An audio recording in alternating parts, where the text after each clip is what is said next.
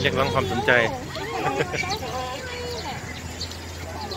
ดูดูดูตัวเชเทั้งหลายตัวนี้ดูมันร้องกินน่ะอืมแครอทยัดแครอทไม่ชอบกินขยดนี่ดู มันท้องหรือเปล่าวะทำไมมันร้องอะ มันป่วยหรือเปล่าดูอืมีแผล